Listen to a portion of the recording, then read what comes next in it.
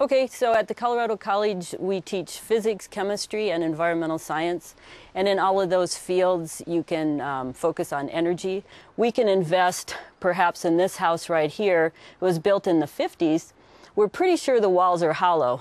We don't know that for sure. We're going to drill a hole in a minute.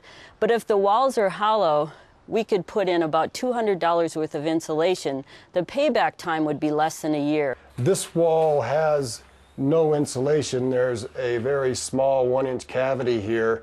Uh, the plasterboard was put up essentially right up against the brick siding on this house.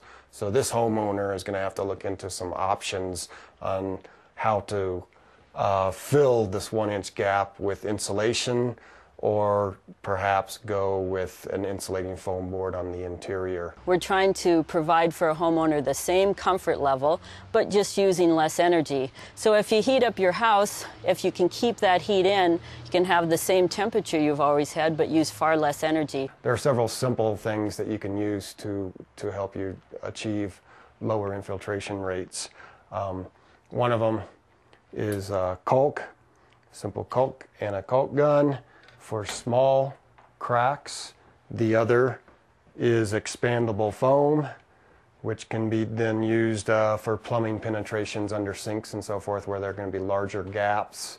And the other are weather stripping for doors, and then switch plate and outlet uh, foam insulators. So if you insulate your home, caulk around your windows, you'll find that you can save as much energy as if you had a high-tech hybrid car.